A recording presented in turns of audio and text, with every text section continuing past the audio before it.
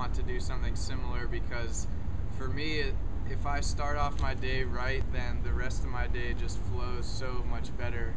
Um, so here I am sitting in the position called full lotus, and for a really long time I could not sit like this because my hips were really tight, and eventually I got hit by a car, and to heal from hit, getting hit by a car, I did yoga, and it made my hips really flexible. So now I can actually do this position. Um, there's also a position called half lotus, which is good for meditation, where you just put one leg up but I encourage you, if you can, to really work to get full lotus because once you do, it is the most comfortable meditation position you could possibly imagine. And I feel like it's worth getting that flexible to do it. Um, and so there's a ton of different types of meditation techniques. I've got some other videos about meditation.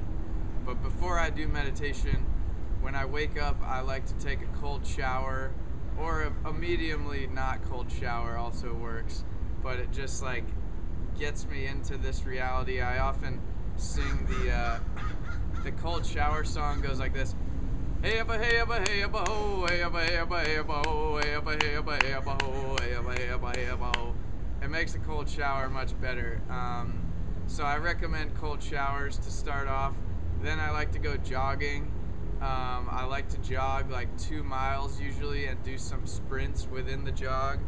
And I usually tuck in my shirt. I used to think it was super lame to tuck in your shirt, but it makes jogging a lot easier. Um, so you gotta tuck in your shirt and look super cool and not care what other people think.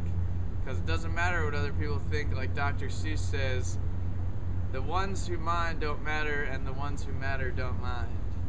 So, um, some other stuff I like to do I like to do the after I jog I do the yoga burst which I actually made a video of right over there about a month ago.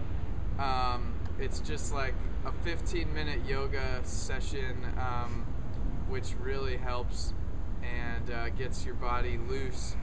And then I like to meditate for a little bit in full lotus. I like to do kundalini yoga um, or before I do the, the meditation though I like to do ab like eight minute abs I know there's some like Richard Simmons video where you do like eight minute abs and you get all pumped up. But I feel like having a strong core is like the key to having good life. You know, it's like your core is that you're in Tai Chi. They call it your Dantian. It's like your center of gravity. And if you don't have a strong core, then you can get like swayed in all directions. But if you have a strong core, then you're just able to to focus and do what you really want to do.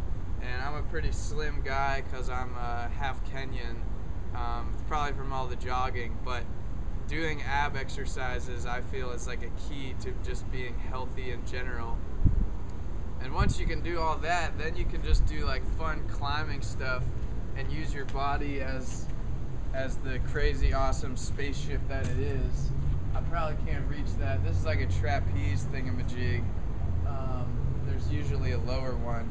But if you do exercise, then you can just like do crazy parkour and and like fun headstands and stuff like this. Um, and I can do the cold. sometimes I take a cold shower while doing the uh, headstand. So it's like.